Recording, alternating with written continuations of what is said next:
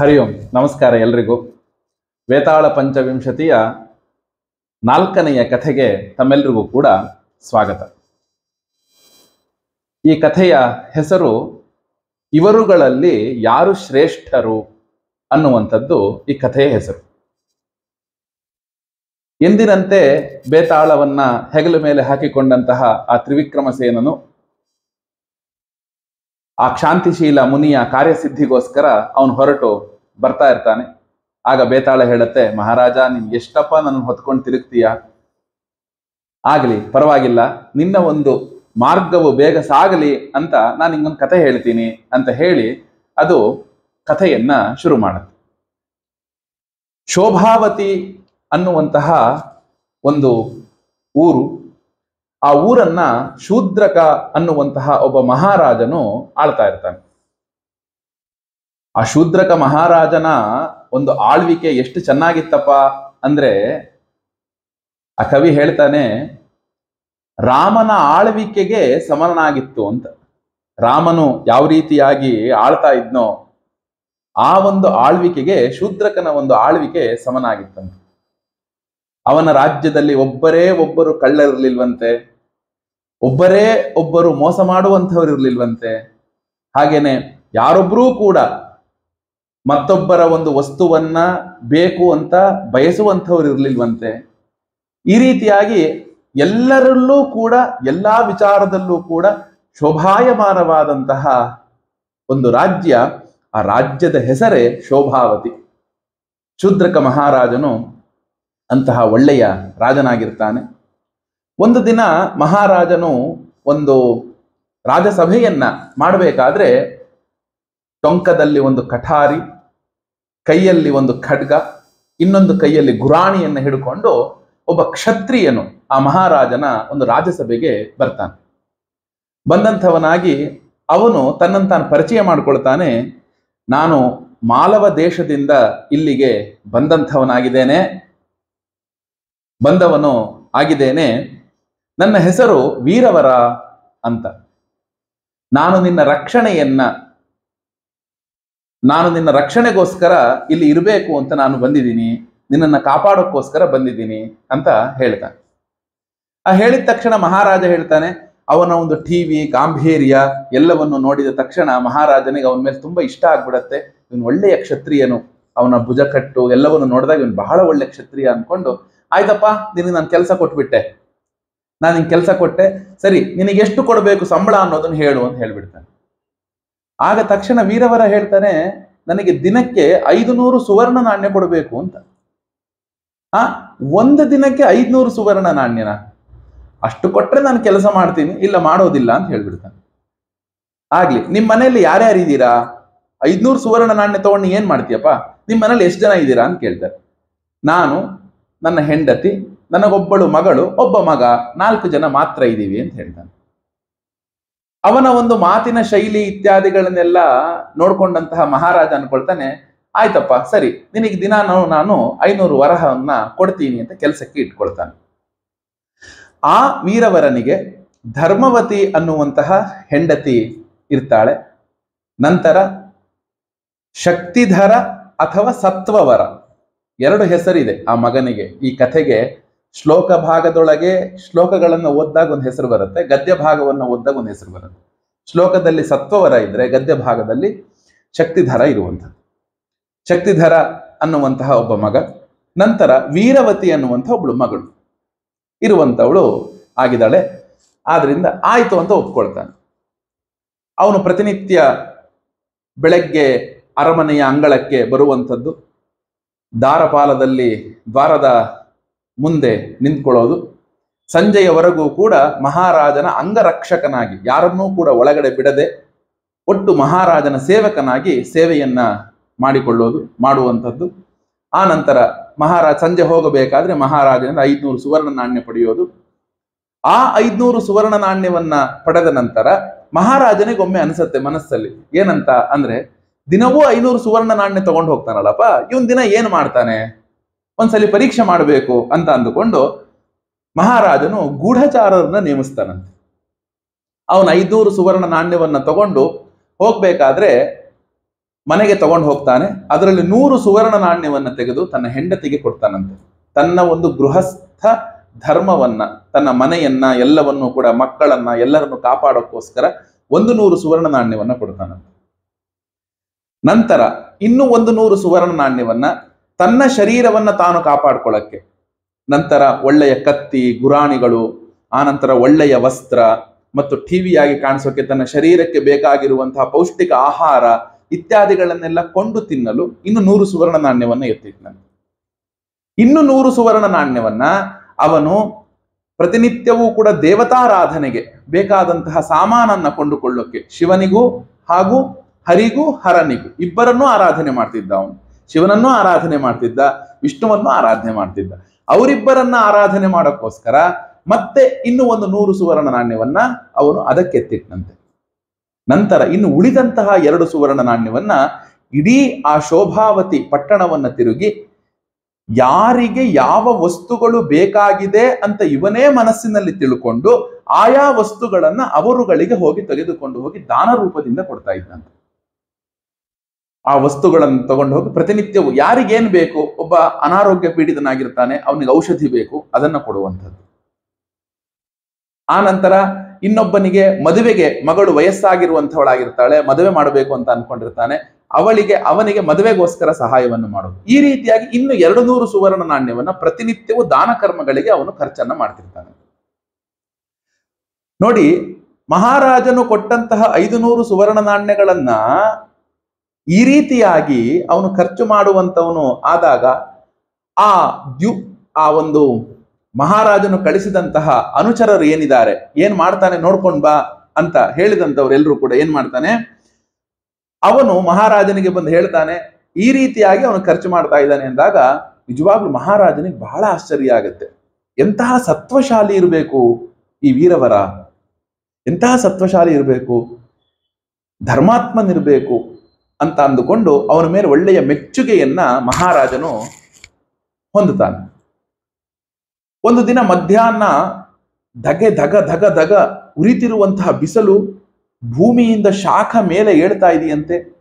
ಹೇಳ್ತಾ ಹೇಳ್ತಾ ಇರಬೇಕಾದ್ರೆ ಏನೋ ಒಮ್ಮೆ ಮಹಾರಾಜನು ಅವನ ಕೋಣೆಯಿಂದ ಹೊರಗಡೆ ಬಂದಾಗ ಆ ಸಿಂಹದ್ವಾರದಲ್ಲಿ, ಮಹಾರಾಜನ ರಾಜದ್ವಾರದಲ್ಲಿ ವೀರವರನು ಕತ್ತಿ ಗುರಾಣಿಯನ್ನು ಹಿಡ್ಕೊಂಡು ಸಜ್ಜಾಗಿ ನಿಂತಿರ್ತಾನಂತೆ.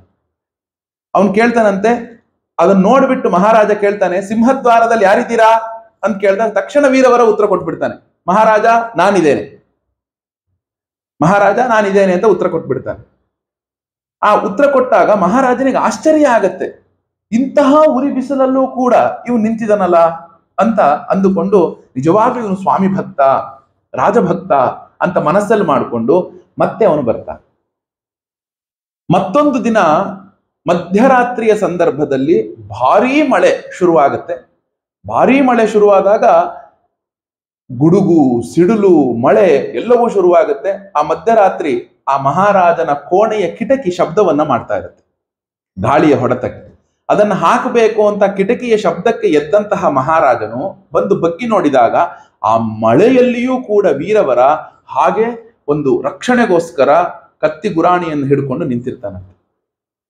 ಅದನ್ನ ನೋಡಿದ ತಕ್ಷಣ ಮಹಾರಾಜನಿಗೆ ಅನಿಸುತ್ತೆ, ಇವನು ಸಾಮಾನ್ಯನಲ್ಲ, ನಿಜವಾಗಲೂ ಕೂಡ ಇವನಿಗೆ ನಾನು ಒಂದು, ಆ, ಕಾವಲುಗಾರನ, ಅಂಗರಕ್ಷಕನ ಕೆಲಸವನ್ನು ಕೊಟ್ಟಿದ್ದೇನೆ. ಇವನಿಗೆ ಇನ್ನೂ ಉತ್ತಮವಾದ ಕೆಲಸವನ್ನು ಕೊಡಬೇಕಿತ್ತು. ಇವನು ಯಾರೋ ಒಬ್ಬ ಉನ್ನತ ಕುಲದಲ್ಲಿ ಹುಟ್ಟಿರುವಂತಹ ಕ್ಷತ್ರಿಯ ಇವನು.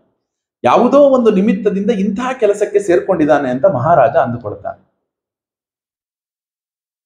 ಒಂದು ದಿನ ಮಹಾರಾಜ ಹೀಗೆ ಮುಂದೆ ಅನೇಕ ದಿನಗಳು ಕಳೆಯುತ್ತೆ. ಕಳೆದ ನಂತರ ಒಂದಿನ ಮಹಾರಾಜ ಮಧ್ಯರಾತ್ರಿಯ ಸಂದರ್ಭದಲ್ಲಿ ವೀರವರ ಕೆಳಗಡೆ ನಿಂತಿರ್ತಾನೆ. ನಿಂತಾಗ ಮತ್ತೆ ಕೂಗ್ತಾನೆ ಸಿಂಹದ್ವಾರದಲ್ಲಿ ಯಾರಿದ್ದೀರಾ ಅಂತ ಕೂಗ್ತಾನೆ. ವೀರವರ ಉತ್ತರ ಕೊಡ್ತಾನೆ, ಮಹಾರಾಜ, ನಾನು ವೀರವರ ನಿಂತಿದ್ದೇನೆ ಅಂತ ಹೇಳ್ತಾನೆ. ಹೇಳಿದ ತಕ್ಷಣ ಆ ವೀರವರನ್ನ ನೋಡೋಕ್ಕೆ ಹೊರಗಡೆ ಬರ್ತಾನೆ. ಹೊರಗಡೆ ಬಂದಾಗ ದೂರದಲ್ಲಿ ಯಾರೋ ಒಬ್ಬರು ಗಟ್ಟಿಯಾಗಿ ಅಳ್ತಿರುವಂತಹ ಶಬ್ದ ಕೇಳಿಸುತ್ತೆ. ಅದು ಹೆಣ್ಣಿನ ಧ್ವನಿ. ಒಂದು ಹೆಣ್ಣಿನ ಧ್ವನಿ ಅವನಿಗೆ ಕೇಳಿಸುತ್ತೆ. ಮಹಾರಾಜನಿಗೆ ಕೇಳಿಸುತ್ತೆ. ಆಗ ಮಹಾರಾಜ ಯೋಚನೆ ಮಾಡ್ತಾನೆ, ನನ್ನ ರಾಜ್ಯದಲ್ಲಿ, ಅದು ಇಂತಹ ಮಧ್ಯರಾತ್ರಿಯ ಸಂದರ್ಭದಲ್ಲಿ ಒಂದು ಹೆಣ್ಣು ಅಳ್ತಾ ಇದ್ದಾಳೆ ಅಂದ್ರೆ ಏನೋ ನನ್ನಿಂದ ತಪ್ಪು ನಡೀತಾ ಇದೆ ಅಂತ ಅರ್ಥ. ಯಾಕೆ? ನಾನು ಇಂತಹ ಧರ್ಮಾತ್ಮನಾಗಿ ರಾಜ್ಯಭಾರವನ್ನು ಮಾಡಬೇಕಾದ್ರೆ ಒಬ್ಬ ನನ್ನ ರಾಜ್ಯದ ಒಬ್ಬ ಪ್ರಜೆಗೆ ದುಃಖ ಆಗ್ತಾ ಇದೆ ಅಂತ ಗೊತ್ತಿದ್ರೂ ಕೂಡ ತಿಳಿದುಕೊಳ್ಳದೆ ಇರುವಂತಹ ರಾಜನು ನಾನಾಗ್ಬಿಟ್ನೆ ಅಂತ ಮಹಾರಾಜ ಮನಸ್ಸಲ್ಲೇ ಅಂದುಕೊಳ್ತಾನೆ. ಆಗ ತಕ್ಷಣ ಕೆಳಗಿರುವಂತಹ ವೀರವರನಿಗೆ ಹೇಳ್ತಾನೆ, ವೀರವರ, ಯಾರೋ ತುಂಬಾ ಜೋರಾಗಿ ಅಳ್ತಾ ಇದ್ದಾರೆ ಕಣ, ಹೋಗಿ ನೋಡು ಒಂದ್ಸಲಿ. ಯಾರು ಅಳ್ತಾ ಇದ್ದಾರೆ ಅಂತ ಹೋಗು ನೋಡು ಅಂತ ಹೇಳಿದಾಗ, ಜಿಯಾ ಮಹಾರಾಜ, ನಾನು ಈಗಲೇ ಹೊರಟೆ ಅಂತ ಕತ್ತಿ ಗುರಾಣಿಯನ್ನು ಹಿಡ್ಕೊಂಡು ಎಲ್ಲಿ ಅಳುವಿನ ಶಬ್ದವನ್ನೇ ಇಟ್ಟುಕೊಂಡು ಒಂದು ಮನಸ್ಸಲ್ಲಿ ಮಾಡಿಕೊಂಡು ಎಲ್ಲಿ ಅಳುವಿನ ಶಬ್ದ ಬಂತೋ ಅದೇ ಕಡೆಗೆ ಆ ವೀರವರ ಓಡೋದಿಕ್ಕೆ ಓಡೋದಿಕ್ಕೆ ಶುರು ಮಾಡ್ತಾನೆ ಮಹಾರಾಜನಿಗೆ ಅನ್ನಿಸ್ಬಿಡುತ್ತೆ, ಮಧ್ಯರಾತ್ರಿಯ ಸಂದರ್ಭ, ಬರೀ ಶಬ್ದವನ್ನ ಹಿಡಿದುಕೊಂಡು ಕಾಡಿನೊಳಗೆ ಅವನು ಹೋದ್ನಲ್ಲ, ಅವನ ರಕ್ಷಣೆ ಏನು, ಅವನಿಗೇನಾದ್ರೂ ಆಗ್ಬಿಟ್ರೆ ಅನ್ಕೊಂಡು ಮಹಾರಾಜ ತನ್ನ ಮಹಾರಾಜಕೀಯ ವೇಷವನ್ನೆಲ್ಲವನ್ನು ತೆಗೆದು ಕೇವಲ ಸಾಮಾನ್ಯವಾದಂತಹ ಒಂದು ಉಡುಪನ್ನು ಹಾಕೊಂಡು ಒಂದು ಅವನ ಒಂದು ಪಟ್ಟುಕತ್ತಿಯನ್ನ ಪಟ್ಟಕತ್ತಿಯನ್ನ ಸೊಂಟದಲ್ಲಿ ಸಿಗಿಸಿಕೊಂಡು ವೀರವರನ ರಕ್ಷಣೆಗೆ ಮಹಾರಾಜ ಹೋಗ್ತಾನೆ. ನೋಡಿ, ಎಂತಹ ಧರ್ಮಾತ್ಮ ಇರಬೇಕು ಮಹಾರಾಜ, ಶೂದ್ರಕ. ಒಬ್ಬ ಸೇವಕನು ಹೋದ್ರೆ ಸೇವಕನ ರಕ್ಷಣೆಗೆ ಮಹಾರಾಜ ಹೋಗ್ತಾನೆ. ವೀರವರನಿಗೆ ಮಹಾರಾಜ ಹಿಂದೆ ಬರ್ತೇನೆ ಅಂತ ಗೊತ್ತೇ ಇಲ್ಲ.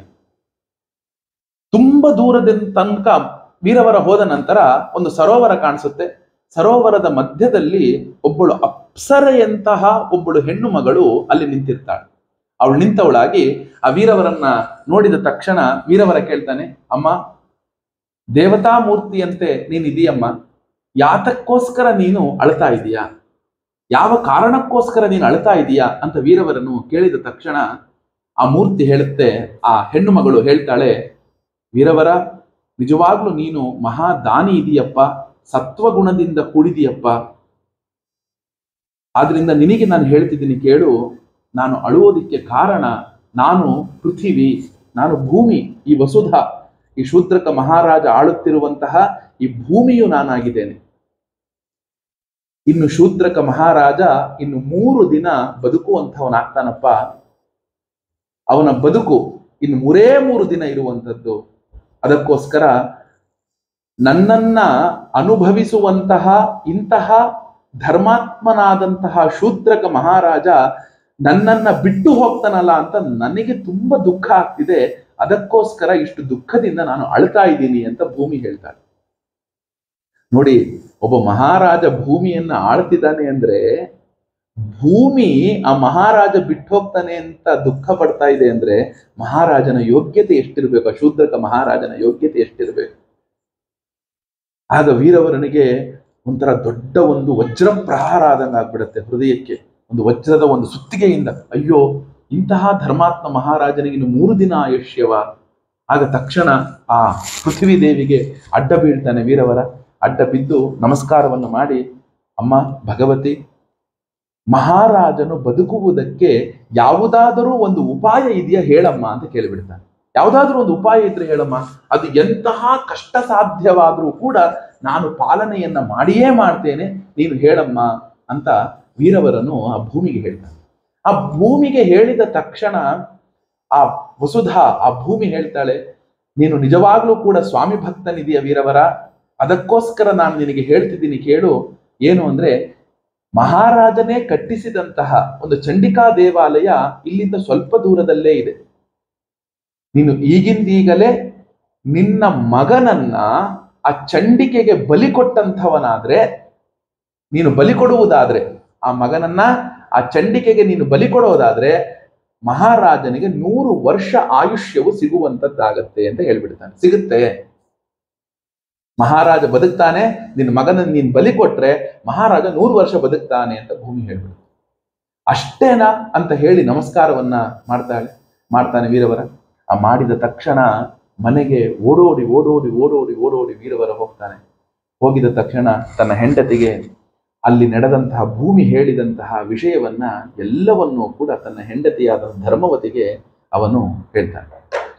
ಆ ಹೇಳಿದ ತಕ್ಷಣ ಮಕ್ಕಳಿಬ್ಬರೂ ಕೂಡ ವೀರವತಿ ಹಾಗೂ ಶಕ್ತಿಧರ ಇಬ್ಬರೂ ಕೂಡ ಮಲಗು, ಮಲಗಿರ್ತಾರೆ. ಆ ಮಲಗಿದ್ದಾಗ ನೋಡು, ನೋಡಿ ಸ್ವಾಮಿ, ನಿಮ್ಮ ಮಕ್ಕಳಿಬ್ಬರೂ ಕೂಡ ಮಲಗಿದ್ದಾರೆ. ನೀವೇ ಅವರಿಬ್ಬರನ್ನ ಏಳಿಸಿ ನಡೆದಂತಹ ವಿಷಯ ಎಲ್ಲವನ್ನು ಹೇಳಿ. ಆ ಮಕ್ಕಳು ಏನು ಹೇಳ್ತಾರೆ ಅಂತ ನೀವು ಕೇಳಿ ಅಂತ ಹೇಳಿ. ನನಗೇನೂ ಕೂಡ ದುಃಖ ಇಲ್ಲ. ನನ್ನ ಮಗನನ್ನ ಚಂಡಿಕೆಗೆ ಒಪ್ಪಿಸುವುದಕ್ಕೆ ನನಗೆ ಎಳ್ಳಷ್ಟೂ ಕೂಡ ದುಃಖ ಇಲ್ಲ.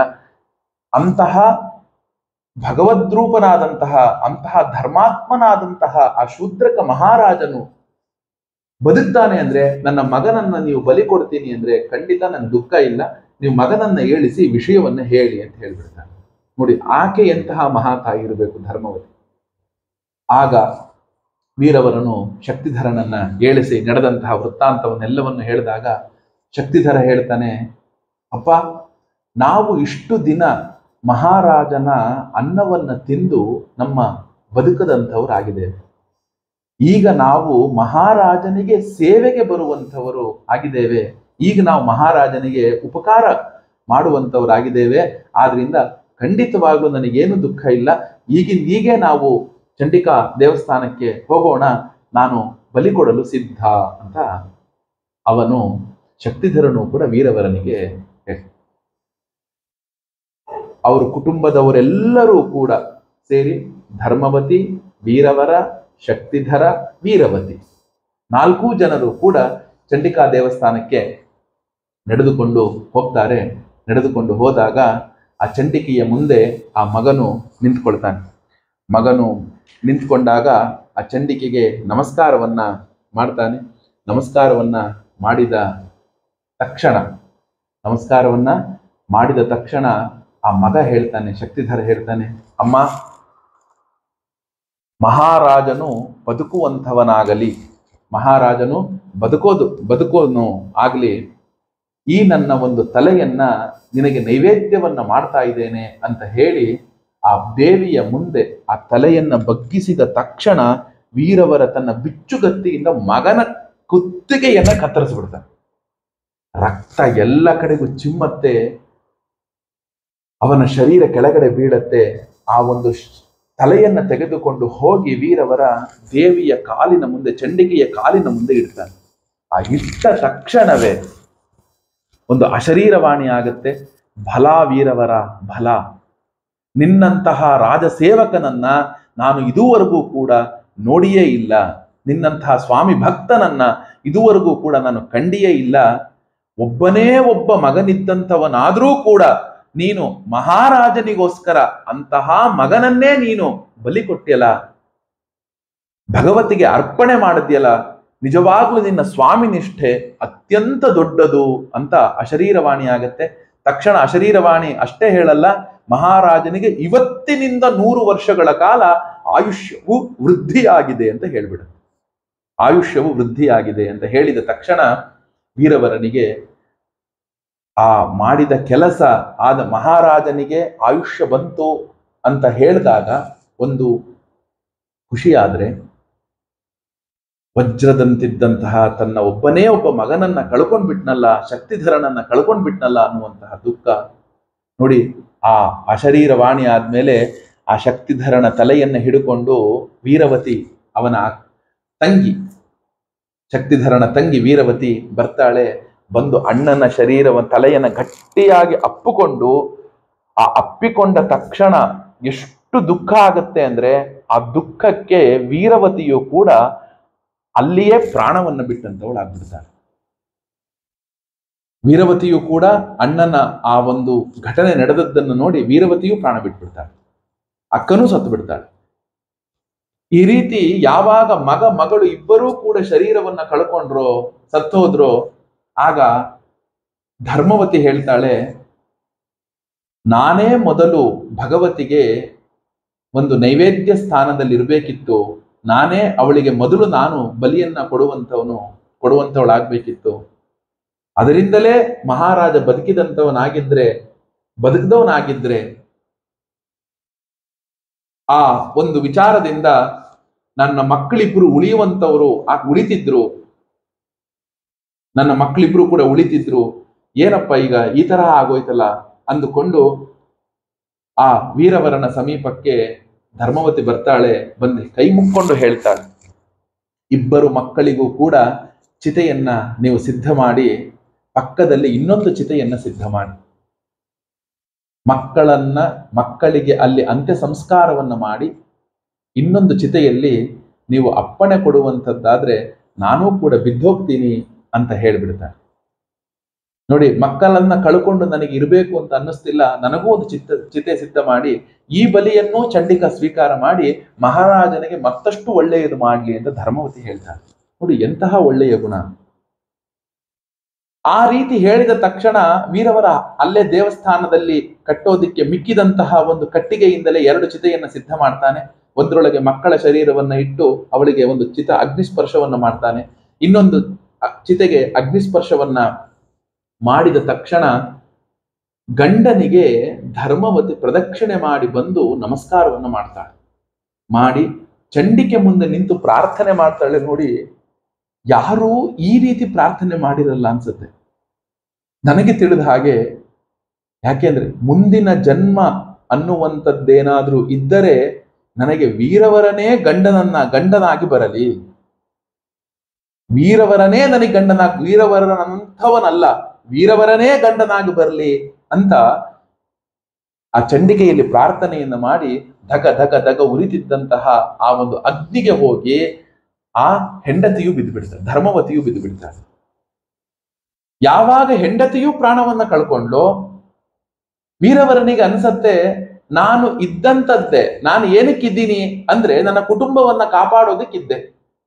ಈಗ ಏನಾಯ್ತು ಅಂದ್ರೆ ಮಗನೂ ಇಲ್ಲ, ಮಗಳೂ ಇಲ್ಲ, ಹೆಂಡತಿಯೂ ಇಲ್ಲ ನಾನಿದ್ದೇನ್ ಮಾಡಬೇಕು ನಾನು ಆ ಒಂದು ದೇಶದಿಂದ ಬಂದು ಇಲ್ಲಿ ಮಹಾರಾಜನನ್ನ ನನ್ನ ಒಂದು ಕರ್ತವ್ಯವನ್ನ ನಾನು ಸಲ್ಲಿಸಿ ಆಯಿತು. ಚಂಡಿಕೆ, ನಾನೂ ಕೂಡ ನಿನಗೆ ಶರೀರವನ್ನು ಅರ್ಪಣೆ ಮಾಡ್ತಾ ಇದ್ದೀನಿ ಅಂತ ಅಂದುಕೊಂಡು ತನ್ ಆ ತನ್ನದೇ ಖಡ್ಗದಿಂದ ವೀರವರನೂ ಕೂಡ ತನ್ನ ತಲೆಯನ್ನ ಕತ್ತರಿಸ್ಕೊಂಡ್ಬಿಡ್ತಾನೆ. ನೋಡಿ, ಇಲ್ಲಿ ನಡೆದಂತಹ ಎಲ್ಲಾ ಘಟನೆಗಳನ್ನು ಕೂಡ ವೀರವರನ ಹಿಂದೆ ಬಂದಂತಹ ಶೂದ್ರಕ ಮಹಾರಾಜನು ನೋಡ್ತಾ ಇರ್ತಾನೆ. ಅಲ್ಲಿ ಹೋಗಿ ಆ ಪೃಥ್ವಿ ದೇವಿ ಭೂಮಿ ವೀರವರನಿಗೆ ಹೇಳಿದ್ದು, ಮಹಾರಾಜ, ಇನ್ನು ಮೂರೇ ದಿನ ಬರುತ್ತಾನೆ ಅಂತ. ವೀರವರನ್ನು ಓಡೋಡಿ ಬಂದು ತನ್ನ ಕುಟುಂಬಕ್ಕೆ ತಿಳಿಸಿದ್ದು, ಕುಟುಂಬದವರೆಲ್ಲರೂ ಕೂಡ ಚಂಡಿಕಾ ದೇವಸ್ಥಾನಕ್ಕೆ ಬಂದಂತದ್ದು ಚಂಡಿಕಾ ದೇವಸ್ಥಾನದಲ್ಲಿ ನಡೆದಂತಹ ಮೊದಲು ಆ ಒಂದು ಶಕ್ತಿಧರನ ಒಂದು ಆತ್ಮ ಸಮರ್ಪಣೆ ಶಕ್ತಿಧರನನ್ನ ನೋಡಿ ವೀರವತಿ ಶರೀರವನ್ನ ಬಿಟ್ಟಿದ್ದು, ನಂತರ ವೀರವತಿ ಮಕ್ಕಳಿಬ್ಬರೂ ಕೂಡ ಸತ್ತಿದ್ದನ್ನು ನೋಡಿ ತನ್ನ ಹೆಂಡತಿಯೂ ಕೂಡ ಚಿತ ಅಗ್ನಿ ಪ್ರವೇಶವನ್ನ ಮಾಡಿದ್ದು, ಅವ್ರು ಮೂರು ಜನ ಸತ್ತ ಮೇಲೆ ವೀರವರನ್ನು ಕೂಡ ಪ್ರಾಣವನ್ನು ತ್ಯಾಗ ಮಾಡಿ ಇದನ್ನ ನೋಡಿದ ತಕ್ಷಣ ಶೂದ್ರಕ ಮಹಾರಾಜನ ಹೃದಯ ಛಿದ್ರವಾಗತ್ತೆ.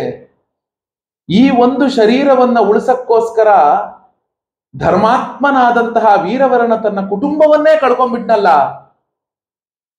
ಧಿಕ್ ಈ ಶರೀರಕ್ಕೆ ಧಿಕ್ಕಾರ ಇರಲಿ, ಇಂತಹ ಒಂದು ಧರ್ಮಾತ್ಮನಾದಂತಹ ಒಬ್ಬ ಸೇವಕನನ್ನ ಕಳ್ಕೊಂಡು ಕೂಡ ಅವನ ಪ್ರಾಣವನ್ನ ನಾನು ಕಸೆದುಕೊಂಡು ಈ ಜೀವವನ್ನ ನಾನು ಇಟ್ಕೋಬೇಕಾ ಅಂತ ಅಂದುಕೊಂಡು ಮಹಾರಾಜನು ತನ್ನ ಕತ್ತಿಯನ್ನ ತೆಗೆದು ಕಾಳಿಯ ಮುಂದೆ ಬಂದು ಚಂಡಿಕೆಯ ಮುಂದೆ ಬಂದು ನಿಂತುಕೊಂಡು ಹೇಳ್ತಾನೆ, ಹೇ ಚಂಡಿಕೆ,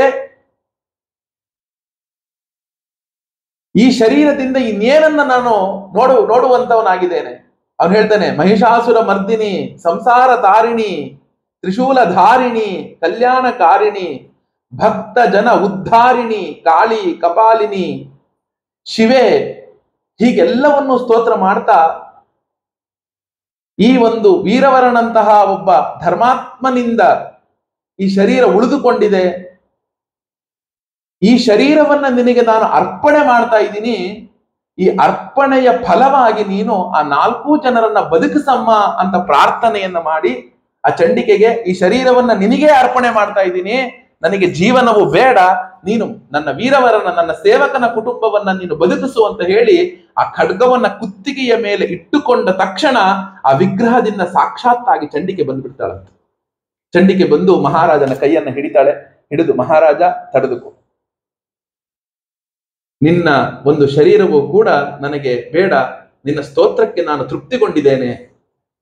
ನಿನ್ನ ಒಂದು ನಿಷ್ಕಪಟಕ ಒಂದು ನಿಷ್ಕಪಟ ಪ್ರೇಮ ಏನಿದೆ ಸೇವಕರ ಮೇಲೆ ಅದಕ್ಕೆ ನಾನು ತೃಪ್ತಿಗೊಂಡಿದ್ದೇನೆ.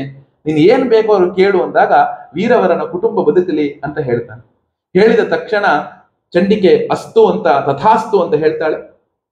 ಹೇಳಿದ ತಕ್ಷಣ ಮಹಾರಾಜ ಮತ್ತೆ ಹೋಗಿ ಮರೆಯಲ್ಲಿ ನಿಂತ್ಕೊಳ್ತಾನೆ. ವೀರವರನು ಎದ್ದು ನಿಂತ್ಕೊಳ್ತಾನೆ, ಮಕ್ಕಳು ಬರ್ತಾರೆ ಹೆಂಡತಿಯು ಬರ್ತಾಳೆ, ಎಲ್ಲರೂ ಅವ್ರನ್ನ ಅವ್ರು ನೋಡ್ಕೊಳ್ತಾರೆ, ಅಪ್ಪುಕೊಳ್ತಾರೆ, ಭಸ್ಮವಾದಂತಹ ಶರೀರ ಹೆಂಗ್ ಹುಟ್ಟಿತು ಅಂತ ಗೊತ್ತಿಲ್ಲ, ಕುತ್ತರಿಕೆಯನ್ನು, ಕುತ್ತಿಗೆಯನ್ನು ಕತ್ತರಿಸಿಕೊಂಡ ಶರೀರ ಮತ್ತೆ ಹೆಂಗ್ ಹುಟ್ಟಿತು ಅಂತ ಗೊತ್ತಿಲ್ಲ. ವೀರವರ ಹೇಳ್ತಾನೆ, ಇದು ನಿಜವಾಗ್ಲೂ ಕೂಡ ಆ ಚಂಡಿಕೆಯ ಅನುಗ್ರಹವೇ ಆಗಿರಬೇಕು. ಆ ಭಗವತಿಗೆ ಮತ್ತೆ ನಾಲ್ಕು ಜನ ನಮಸ್ಕಾರ ಮಾಡಿ, ಮತ್ತೆ ಎಲ್ಲರೂ ಕೂಡ ಹೋಗಿ ಆ ಮನೆಗೆ ಅವನು ಬಿಟ್ಟು, ಮತ್ತೆ ವೀರವರ ಬಿಚ್ಚುಗತ್ತಿಯನ್ನು ಇಟ್ಟುಕೊಂಡು ಮಧ್ಯರಾತ್ರಿ ಆಗ್ಲೇ ಸೂರ್ಯೋದಯಕ್ಕೆ ಸ್ವಲ್ಪೇ ಸ್ವಲ್ಪ ಸಮಯ ಇರುತ್ತೆ. ಇಷ್ಟೆಲ್ಲ ಘಟನೆಗಳು ಆ ರಾತ್ರಿಯೇ ನಡೆದಂತಹ ಘಟನೆ ಪೂರ್ತಿ. ಇನ್ನು ಮಹಾರಾಜನ ಸಿಂಹದ್ವಾರ ನೆನಪಾಗುತ್ತೆ. ಮತ್ತೆ ಓಡೋಡಿ ಹೋಗಿ ಓಡೋಡಿ ಹೋಗಿ ಆ ಮಹಾರಾ, ಆ ವೀರವರನು ಆ ಸಿಂಹದ್ವಾರದ ಮುಂದೆ ಹೋಗಿ ನಿಂತುಕೊಳ್ತಾನೆ. ಮಹಾರಾಜನು ಮತ್ತೆ ಮೇಲಕ್ಕೆ ಹೋಗಿ ಆ ಘಟನೆಯನ್ನೆಲ್ಲ ನೆನಪಿಸಿಕೊಳ್ತಾನೆ. ನೆನಪಿಸಿಕೊಂಡು ಮತ್ತೆ ಉಪ್ಪರಿಗೆಯ ಮೇಲೆ ಬರ್ತಾನೆ. ಉಪ್ಪರಿಗೆಯ ಮೇಲೆ ಬಂದು, ಸಿಂಹದ್ವಾರದಲ್ಲಿ ಯಾರಿದ್ದೀರಾ? ಅಂತ ಕೂಗ್ತಾನೆ. ನಾನು ವೀರವರ ಅಂತ ಮತ್ತೆ ವೀರವರ ಕೆಳಗಿಂದ ಕೂಗ್ತಾನೆ. ಕೂಗಿದ ತಕ್ಷಣ ಯಾರವಳು ಅಳ್ತಾ ಇದ್ದಲ್ಲ? ಜೋರಾಗಿ ಅಳ್ತಿದ್ದಲ್ಲ ಯಾರು? ಅಂತ ಕೇಳಿದ ತಕ್ಷಣ ವೀರವರ ಹೇಳ್ತಾನೆ, ನಾನು ಆ ಅಳುವ ಧ್ವನಿಯನ್ನೇ ಅನುಸರಿಸಿಕೊಂಡು ಹೋದೆ ಮಹಾರಾಜ. ನಾನು ಹೋಗೋ ಅಷ್ಟೊತ್ತಿಗೆ ನಾನು ನೋಡಿದ ತಕ್ಷಣ ಅವಳು ಆ ಹೆಂಗಸು ಯಾರೋ ಒಬ್ಳು ಯಕ್ಷಿಣಿಯೋ ಯಾರೋ ಆಗಿರ್ಬೇಕು ನಾನು ನೋಡಿದ ತಕ್ಷಣ ಅವಳು ಮಾಯ ಆಗ್ಬಿಟ್ಲು. ನನ್ನ ಜೊತೆ ಅವಳು ಮಾತೇ ಆಡ್ಲಿಲ್ಲ ಅಂತ ಹೇಳ್ಬಿಡ್ತಾನೆ ಆ ಮಾತೇ ಆಡ್ಲಿಲ್ಲ ಅಂತ ಹೇಳಿದಾಗ ನೋಡಿ, ಇಲ್ಲಿ ಒಂದು ಶ್ಲೋಕ, ಆ ಕಥಾ ಸರಿತ್ಸಾಗದ ಶ್ಲೋಕ ಬರುತ್ತೆ, ಅಹೋ ಸಮಿ, ಸಮುದ್ರ ಗಂಭೀರ ಧೀರ ಚಿತ್ತ ಮನಸ್ವಿನಃ ಕೃತ್ವಾಪಿ ಅನನ್ಯ ಅಸಾಮಾನ್ಯಂ ಉಲ್ಲೇಖಂ ನೋದ್ದಿರಂತೆಯೇ ನಿಜವಾಗ್ಲೂ ಕೂಡ ಒಬ್ಬ ಮಹಾತ್ಮರು ಎಂಥವರಪ್ಪ ಅಂದ್ರೆ, ಅವರ ಚಿತ್ತ ಸಮುದ್ರದಂತೆ ಗಂಭೀರವಾಗಿರುವಂಥದ್ದಾಗಿರುತ್ತೆ. ದೃಢ ಸಂಕಲ್ಪದಿಂದ ಕೂಡಿರುವಂತದ್ದಾಗಿರುತ್ತೆ ಎಲ್ಲವೂ ಆಗಿರುತ್ತೆ. ಆದರೆ ಇಂತಹ ಒಂದು ದೊಡ್ಡ ಕೆಲಸವನ್ನ ಮಾಡಿಯೂ ಕೂಡ ಯಾರಿಗೂ ತಿಳಿಯದಂತೆ ಇರಬೇಕು ಅಂತ ಮನಸ್ಸಲ್ಲಿ ಮಾಡ್ಕೊಳ್ತಾರಲ್ಲ, ನಿಜವಾಗ್ಲೂ ಅವರು ಮಹಾತ್ಮರೇ ಅಂತ. ಎಷ್ಟು ದೊಡ್ಡ ಕೆಲಸವನ್ನ ಅವನು ಮಾಡಿರುವಂಥದ್ದು? ವೀರವರ ಮಾಡಿದ್ದು ಸಾಮಾನ್ಯವಾದ ಕೆಲಸವ? ತನ್ನ ಕುಟುಂಬವನ್ನೇ ಆತ್ಮಸಮರ್ಪಣೆ ಮಾಡ್ದ. ಅಷ್ಟು ದೊಡ್ಡ ಕೆಲಸ ಮಾಡಿದ್ರು ಕೂಡ ಮಹಾರಾಜನಿಗೆ ಇದು ಗೊತ್ತಿಳಿಬೇಕು ಅಂತ ಅವನು ಅನ್ಕೊಳ್ಳಿಲ್ಲ. ನಾನು ನಿನಗೋಸ್ಕರ ಇದು ಮಾಡಿದ್ದೀನಿ ಅಂತ.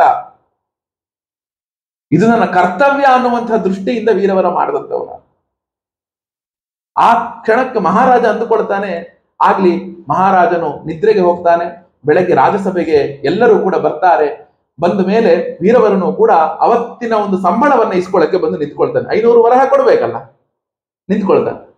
ನಿಂತಾಗ ಮಹಾರಾಜನು, ವೀರವರ, ರಾತ್ರಿ ಎಲ್ಲವೂ ಕೂಡ ಇಲ್ಲಿಯೇ ಇದ್ಯಾ ಅಪ್ಪ?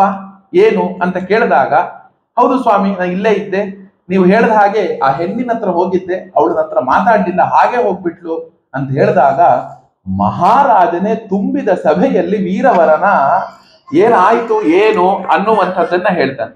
ವೀರವರನಿಗೆ ಏನಾಯ್ತು ಏನೇನಾಯ್ತು ರಾತ್ರಿ ಏನಾಯ್ತು, ಎಂಥದ್ದಾಯ್ತು ಅನ್ನುವಂಥದ್ದನ್ನ ಮಹಾರಾಜನೇ ಹೇಳುವಂತವನಾಗ್ತಾನೆ ಇಡೀ ಸಭೆಗೆ ಹೇಳಿದಾಗ ಎಲ್ಲರೂ ಕೂಡ ಬಲಾವೀರವರ ವೀರವರ ಭಲ ಎಂತಹ ಒಳ್ಳೆಯವನು ನೀನು? ಇಂತಹ ಒಂದು ದೊಡ್ಡ ಕೆಲಸನ ಮಹಾರಾಜನಿಗೋಸ್ಕರ ಇಂತಹ ದೊಡ್ಡ ಕೆಲಸವನ್ನ ನೀನು ಮಾಡಿಬಿಟ್ಟಿಯಲ್ಲ ಅಂದುಕೊಂಡು ಎಲ್ಲರೂ ಕೂಡ ಹೊಗಳುತ್ತಾರೆ ಅಷ್ಟಕ್ಕೆ ಸುಮ್ಮನಾಗ್ಲಿಲ್ಲ ಮಹಾರಾಜ. ಆ ವೀರವರನಿಗೆ ಇಡೀ ದಕ್ಷಿಣ ಭಾರತವನ್ನ, ನಿನ್ನ ಒಂದು ಕರ್ತವ್ಯದ ದೃಷ್ಟಿಯಿಂದ ನನಗೆ ಪ್ರಾಣ ಭಿಕ್ಷೆಯೂ ಕೂಡ ಸಿಕ್ಕಂತದ್ದಾಯ್ತು. ರಾಜ್ಯವೂ ಸಿಕ್ಕಂತದ್ದಾಯ್ತು ರಾಜ್ಯವೂ ಸಿಕ್ತು ನನಗೆ, ಪ್ರಾಣವೂ ಸಿಕ್ತು. ಆದ್ರಿಂದ ಏನಾಯ್ತು? ಇಡೀ ಒಂದು ಈ ದಕ್ಷಿಣ ಭಾರತವನ್ನ ನೀನು ಆಳ್ವಿಕೆಯನ್ನ ಮಾಡು, ಇನ್ನು ಮುಂದೆ ನೀನು ನನ್ನ ಸೇವಕನಲ್ಲ, ನಾನು, ನೀನು ಸಮಾನ ಮಿತ್ರರು ಅಂತ ಹೇಳಿ ಆ ಶೂದ್ರಕ ಮಹಾರಾಜ ವೀರವರನಿಗೆ ದಕ್ಷಿಣ ಭಾರತವನ್ನೇ ಕೊಟ್ಟು ಬಿಡ್ತಾನೆ ವೀರವರನು ಅತ್ಯಂತ ಸಂತೋಷ ಭರಿತನಾಗಿ ಮಹಾರಾಜನಿಗೆ ಮತ್ತೊಮ್ಮೆ ನಮಸ್ಕಾರ ಮಾಡಿ ತನ್ನ ಕುಟುಂಬಕ್ಕೆ ಅವನು ಹೋಗಿ ಸೇರ್ಕೊಳ್ತಾನೆ. ಇಷ್ಟು ಕಥೆಯನ್ನ ಹೇಳಿದ ನಂತರ ಬೇತಾಳವು ಸುಮ್ಮನಾಗ್ಬಿಡತ್ತೆ ಸುಮ್ಮನಾಗಿ ಮಹಾರಾಜನಿಗೆ ಕೇಳತ್ತೆ, ಮಹಾರಾಜ, ಇಷ್ಟು ಜನರು ಇಲ್ಲಿ ಬಂದ್ರಲ್ಲಪ್ಪ, ಇವರುಗಳಲ್ಲಿ ಯಾರು ಶ್ರೇಷ್ಠರು ಅಂತ ನೀನು ಹೇಳಪ್ಪ. ಯಾರು ಶ್ರೇಷ್ಠರು? ಇಲ್ಲಿ ವೀರವರನು ಶ್ರೇಷ್ಠನ?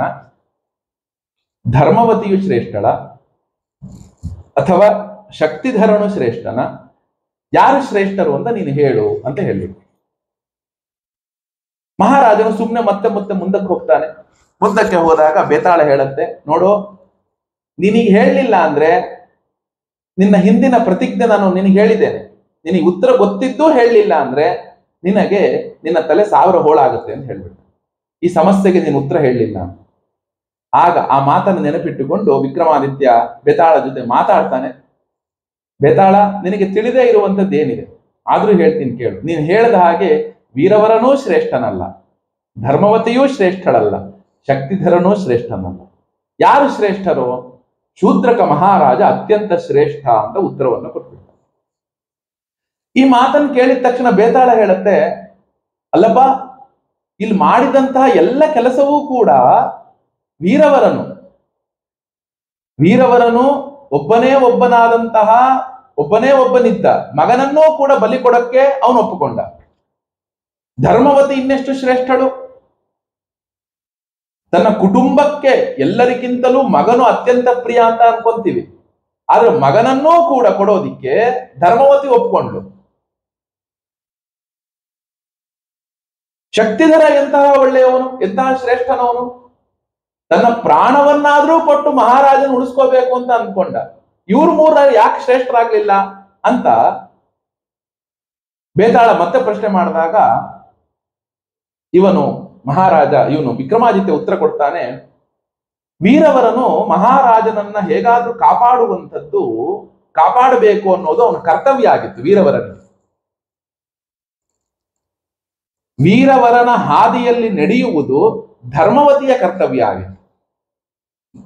ತನ್ನ ಗಂಡನಿಗೆ, ಗಂಡನು ಯಾವುದನ್ನು ಸರಿ ಅಂತ ಅಂದುಕೊಳ್ತಾನೋ ಅದನ್ನ ಪಾಲಿಸೋದು ಧರ್ಮವತಿಯ ಕರ್ತವ್ಯ ಆಗಿತ್ತು. ಇವರಿಬ್ಬರ ಪುತ್ರನಾದಂತಹ ಶಕ್ತಿಧರನು ಕೂಡ ಅಪ್ಪ ಅಮ್ಮನ ಒಂದು ಮಾತಿನಂತೆ ಅವನು ನಡೆಯೋದು ಕೂಡ ಅವನ ಕರ್ತವ್ಯ ಆಗಿತ್ತು. ಯಾಕೆ? ಅವ್ರು ಮೂರೂ ಜನರು ಕೂಡ, ಅವ್ರ ಕುಟುಂಬ ಎಲ್ಲವೂ ಕೂಡ ಮಹಾರಾಜನಿಂದ ಮಹಾರಾಜನಿಂದ ಅವರೆಲ್ಲರೂ ಕೂಡ ಆ ಒಂದು ಸಂಪತ್ತನ್ನ ಪಡೆದು ಜೀವನವನ್ನ ಸಾಗಿಸ್ತಿದ್ರು. ಮಹಾರಾಜನ ಋಣ ಅವರ ಕುಟುಂಬದ ಮೇಲೆ ಪರಿಪೂರ್ಣವಾಗಿತ್ತು. ಆದರೆ ಶೂದ್ರಕ ಮಹಾರಾಜನಿಗೇನಿತ್ತು ಒಬ್ಬ ಸೇವಕನಿಗೋಸ್ಕರ ತನ್ನ, ತನ್ನನ್ನೇ ತಾನು ಪ್ರಾಣವನ್ನ ಕೊಟ್ಟಾದ್ರೂ ಸೇವಕನನ್ನ ಉಳಿಸ್ಬೇಕು ಅನ್ನುವಂಥದ್ದು ಶೂದ್ರಕ ಮಹಾರಾಜನಿಗೆ ಏನಿತ್ತು?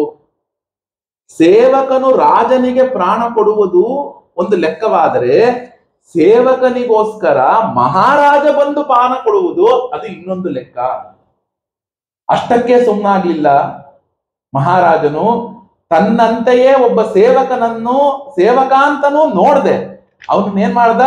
ಒಂದು ಪ್ರಾಂತ್ಯಕ್ಕೆ ಮಹಾರಾಜನನ್ನಾಗಿ ಮಾಡಿ ಸಮಾನ ಸ್ಥಾನಮಾನವನ್ನು ಕೊಟ್ಟ.